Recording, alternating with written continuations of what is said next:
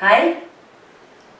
Iveland kommune begynte med stedsutvikling begynnelsen på 2000-tallet. Da hadde vi et synkende innbyggertall.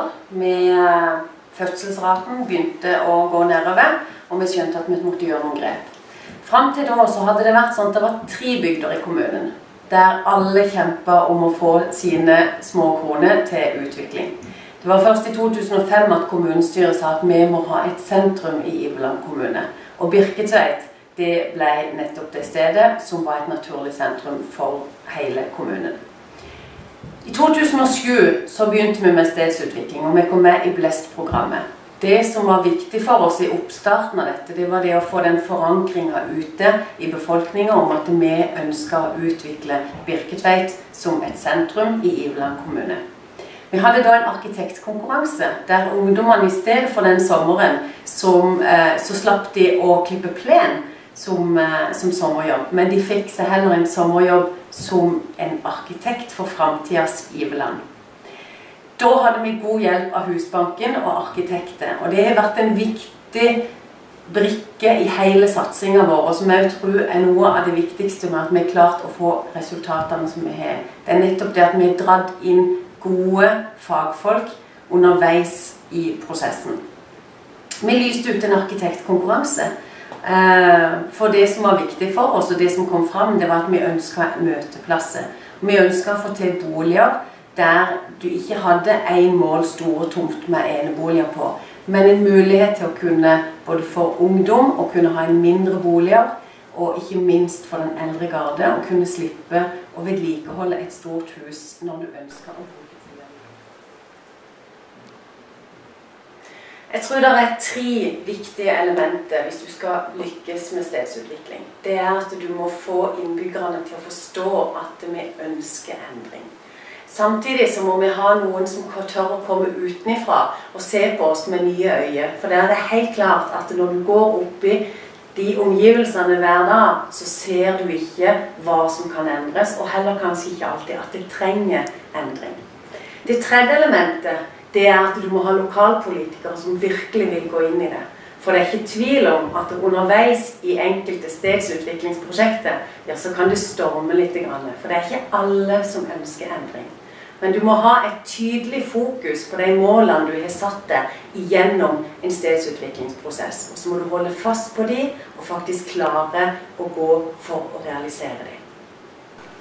Nå har jeg lyst til at vi skal gå bort og se på Åkle, og se hvor vi har klart å utvikle så langt i stedsutviklingsprosjektet vårt. Det har vært et samarbeid både innbyggere, politikere, ikke minst fagfolk, som alle sammen har ønska å få skape noe nytt på Åkle. Kom med meg, så skal vi bort og se. Nå eh, er vi kommet bort på Åkle, og nå har jeg lyst til å vise dere litt hvordan det har blitt inne i det nye næringsbygget. Og jeg vet at på denne tida her så pleier ungdommene som kommer og har lunsj, de pleier å komme over her. Så jeg håper at det sitter noen her inne som vil snakke med oss litt om hvordan de opplever at Åkle er blitt. Kom med meg. Hallo! Se her, er det lunsj? Ja, ja. Gleder vi oss til det helg? Ja, ja. Ja, det er bra. Du er ute her med Finn Terje. Vi driver og filmer litt. For det er ganske mange rundt i landet vårt som er litt nysgjerrige på om vi syns om den satsinga som Iveland kommune har gjort i forhold til overkledd, næringsbygget og egentlig hele området her. Hvordan, eh, hvordan syns du ikke det er blitt, hva som er blitt bra med Åkle?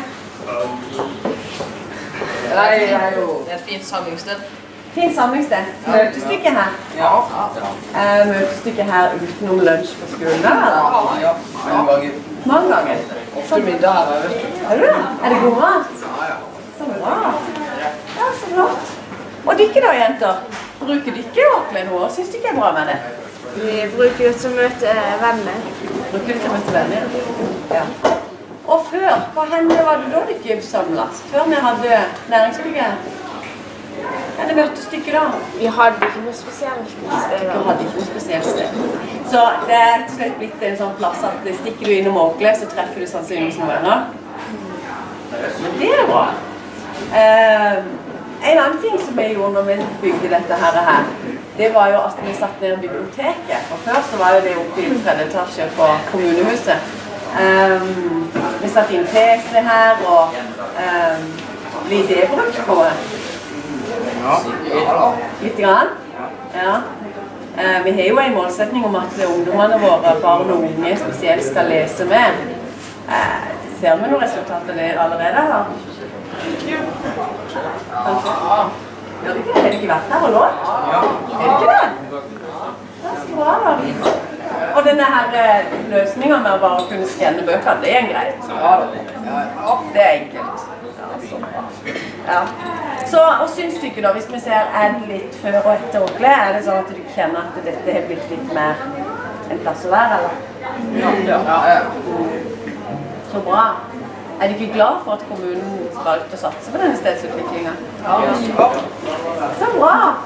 Men du, da skal dere få lov til å fortsette å kose dere. Og så eh, tusen takk for praten, og så må dere ha en god helg. Ha det. Tidligere så lå biblioteket i kommunehuset oppe i tredje etasje under et skråtak, og det var lavt besøkstall.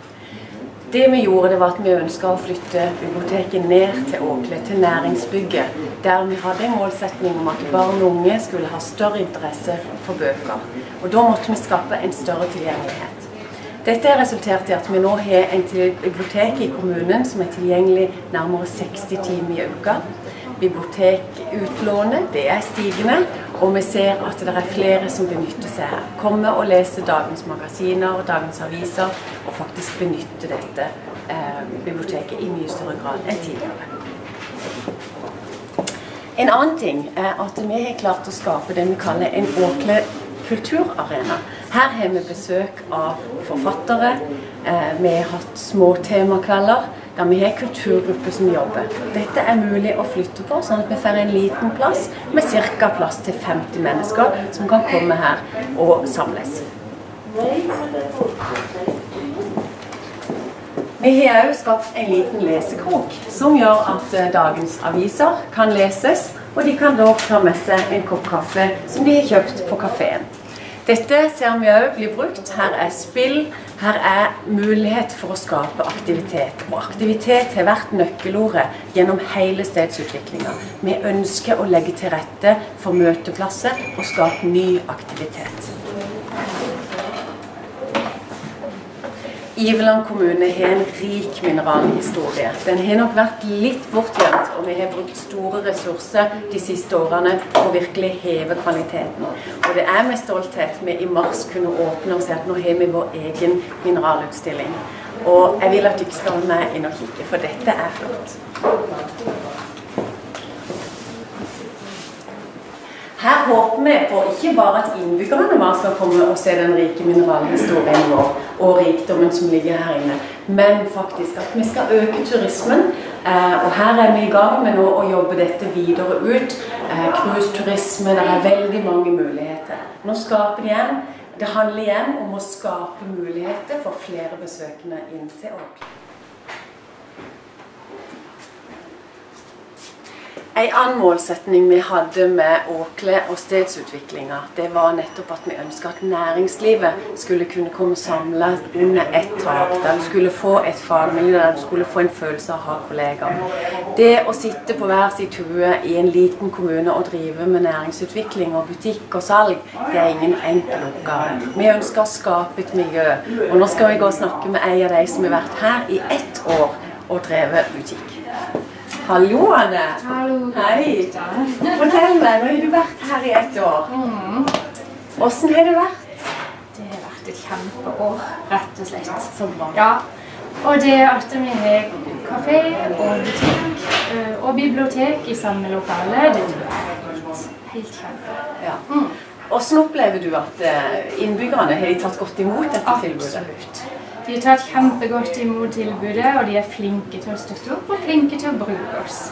Så det er tydelig at de ønsker å ha oss her lenge. Ja. Så vi kan konstatere at eh, stedsutviklinga med Åkle har vært en suksess så langt. Ja, absolutt. Ja, så bra. Det lover godt.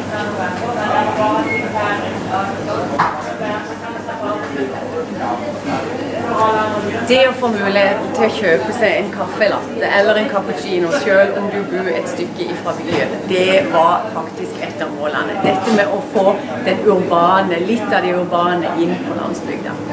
Eh, en annen ting som var viktig med kafeen, å få i gang dette, det handler igjen om disse møteplassene. Denne uformelle møteplassen der du kan stikke innom, kjøpe deg en kopp kaffe, sette deg ned med dagens magasin og slå av en prat. Vi vet at eh, noe av de største utfordringene vi vil ha i samfunnet framover, det er ensomhet blant innbyggere. Det viser seg over hele landet at dette er noe vi må ha fokus på. Her tenker vi at vi har lagt til rette for nettopp det folk skal kunne komme, slå av en prat og bare sette seg ned og ta en kopp kaffe. Videre så fikk vi jo altså nye Den, den eh, lokalbutikken fikk nye næringslokaler. Så her har vi fått en ny, oppgradert med mye større vareutvalg i den nye Joko-butikken. Dette er noe som selvfølgelig innbyggerne vet å sette stor pris på. For en liten kommune som Iveland, som har 1300 innbyggere, så var det helt avgjørende at vi kunne planlegge og tenke langsiktig. At disse byggene skulle settes opp seksjonsvis. At ikke vi skulle kaste opp 38 leiligheter på 1, 2, 3. Det ville faktisk ikke la seg realisere. Her var jo arkitekten og planlegginga sammen med våre kommunale folk en viktig, viktig brikke i det at vi skal klare å utvikle denne landsbyen over flere år. Samtidig så er det jo sånn at det vil bo folk her underveis i prosessen, i byggeprosessen.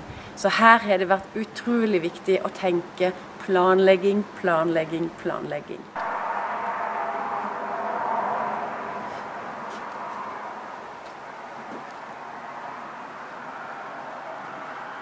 Et av målsetningene med landsbyen Åkle det var jo nettopp å legge til rette for flere boformer. Vi var nok i den situasjonen i Iveland at innbyggerne kom opp i en sånn 50-60 år, så flytta de ut av kommunen. De ønska noe enklere. De ønska å bo mindre, mer kompakt og ha en enklere hverdag.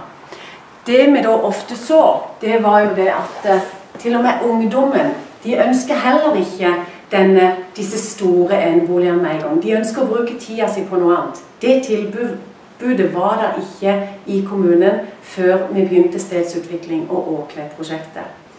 Her står vi inn i en av leilighetene som nå er blitt solgt. Der er eh, totalt 38 leiligheter skal føres opp.